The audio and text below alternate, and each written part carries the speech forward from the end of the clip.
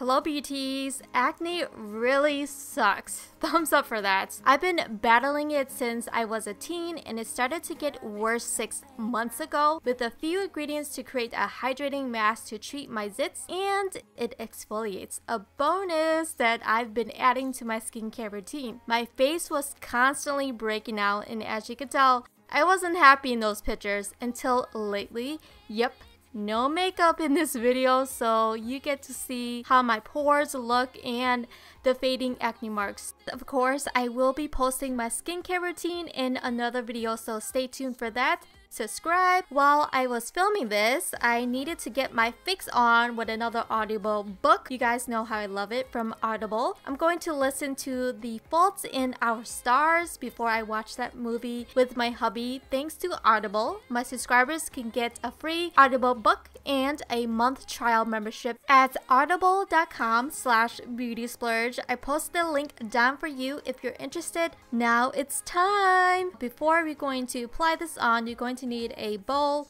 measuring spoons, and a clean foundation brush. I just got this little 4-in-1 kit on Amazon. I will have those linked down below and also on my blog. You're going to need 1 teaspoon of calamine lotion. You can find this at the drugstore. Now this stuff dries up zits so you can use it as a spot treatment, fade acne marks, soften dry skin too. My skin was really dry from all the acne treatments so I use honey to speed up the healing process and to retain back moisture.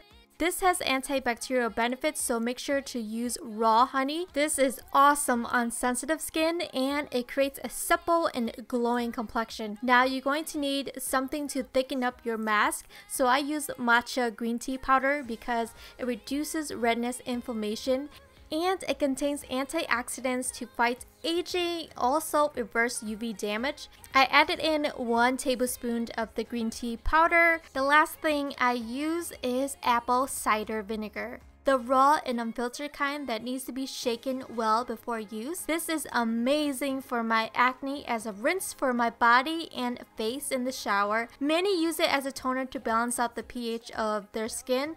I can't stand the stinky odor, so I can't use it as a toner. But this does unclog pores, so it treats acne effectively. I use this mask about two to three times a week wherever I have a breakout, either my face or my back. I tend to get back acne during the summer. I don't know, maybe because of sweat. Yeah, so I like to use this in the shower just for an easy cleanup.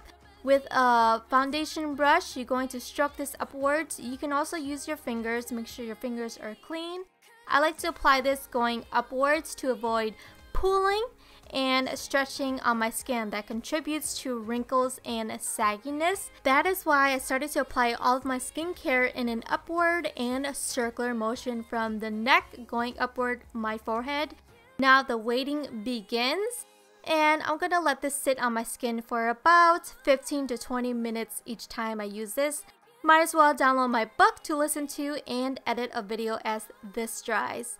I put my hair up in a bun so that I can start rinsing this off. Since my mask contains honey in it, it will be hard to rinse off unless I use a gentle cleanser. The green tea powder acts as a micro exfoliator to remove any dry skin. I like to focus slightly scrubbing in circular motions if I can around my T-zone area since this is where I tend to get zits. Next step, I rinse off the mask using warm water and I like to pat dry with a clean towel. Patting my skin will retain the moisture from the mask ingredients and leave my complexion glowing and silky soft. It's affordable to make. You can use these ingredients in so many ways. Most of them you can eat.